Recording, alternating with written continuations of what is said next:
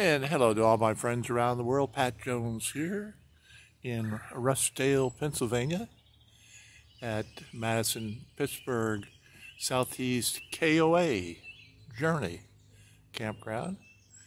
Last night I stayed in cabin 103. Let's just take a quick panorama here at the campground. Beautiful lake out there.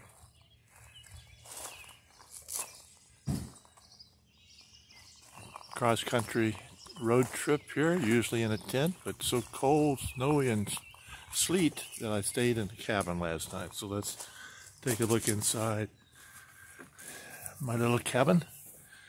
Show you what amenities are inside. A bunk bed and a bed. Perfect place for a night of comfort. Take care, folks.